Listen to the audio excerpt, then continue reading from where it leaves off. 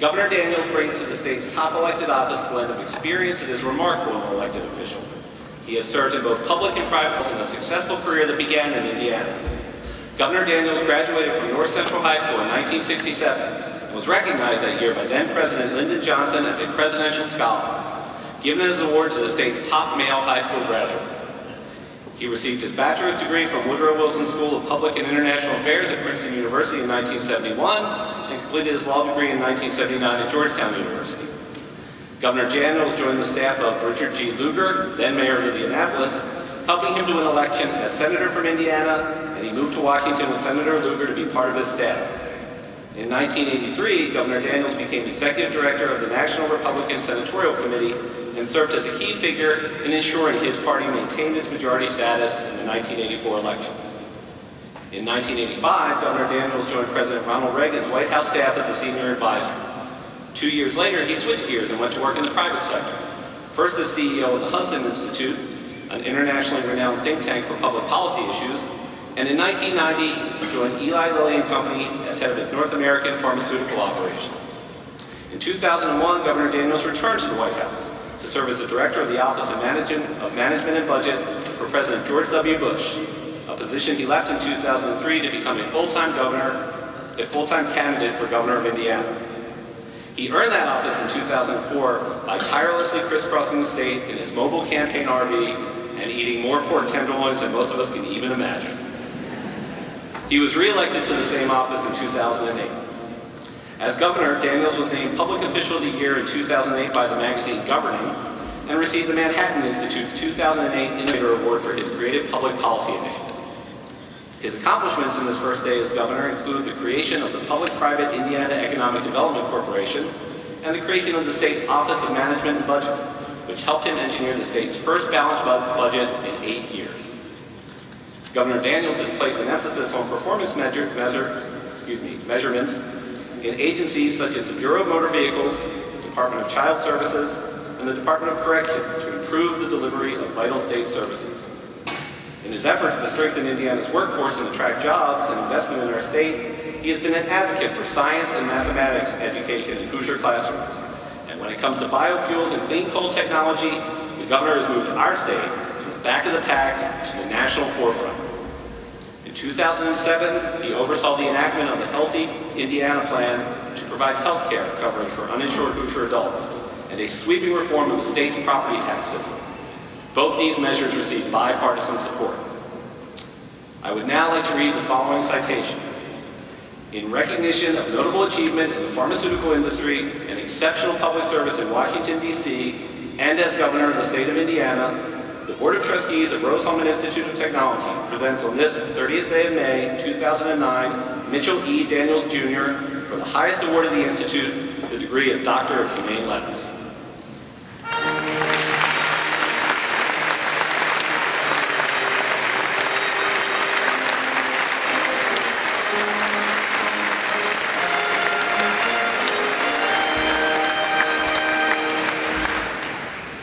Governor Daniels, in recognition of your accomplishments and by the authority vested in me by the Board of Trustees of Rose-Hulman Institute of Technology, I hereby confer upon you the degree of Doctor of Humane Letters.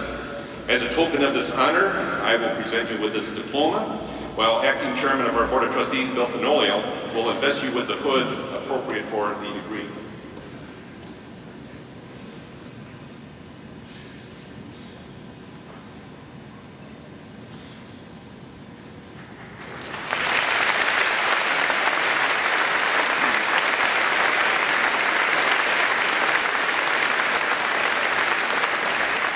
Governor Daniels, congratulations. We are honored that you are our commencement speaker today. Governor Daniels, the honor is yours.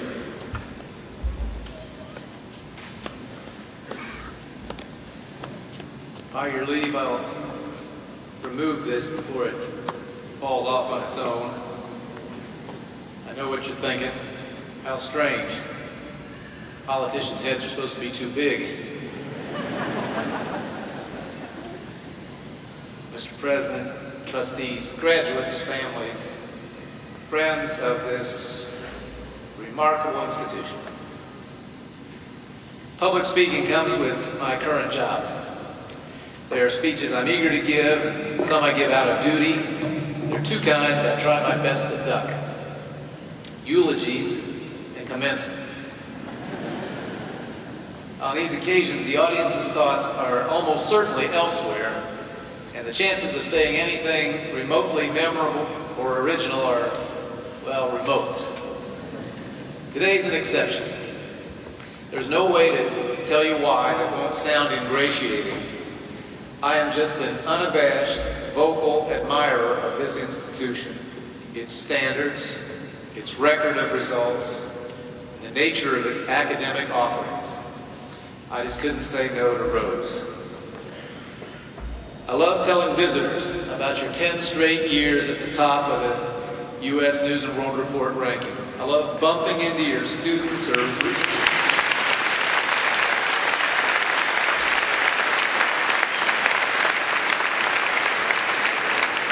I love bumping into your students or recent grads and being dazzled by what they know and the things they can do. Amid great inflation, dumbed down SAT tests, stagnant academic performance across most of American education, you chose the harder path.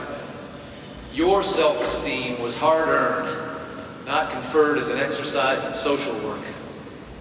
If any graduates in America today are ready for the tough world of a prolonged recession, you are. I often pose to friends a trivia question. Name three mythical creatures never actually found in the natural world. To which the answer is Sasquatch, the Loch Ness Monster, and an unemployed Rose-Hulman graduate.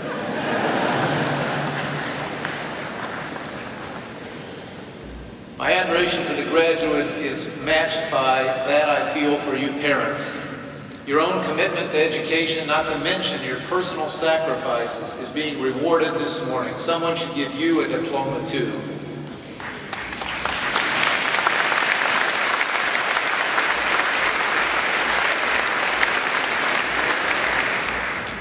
In our effort to elevate appreciation for academic rigor and for math and science specifically, I inaugurated two awards. A friend once said in frustration, every Hoosier knows who Mr. Basketball is, but nobody knows who the best math student is.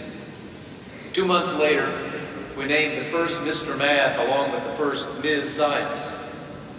Backstage with the parents of Mr. Math, I learned that he was among seven all-star scholars that family had produced.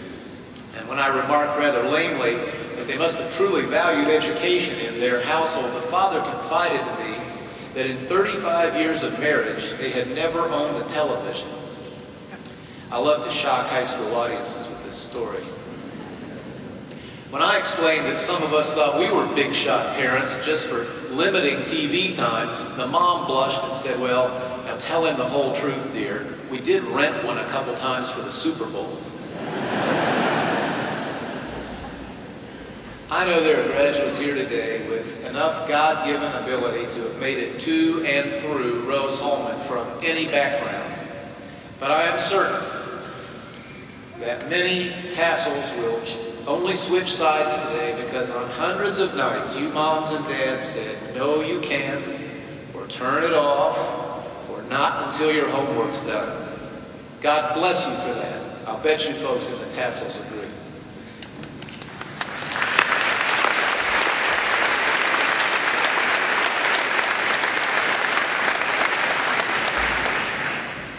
I celebrate today not just the discipline you have demonstrated, but also the disciplines to which you have applied it. America has all the lawyers and psychologists and financial experts we could stand. It's engineers and scientists and mathematicians we desperately need.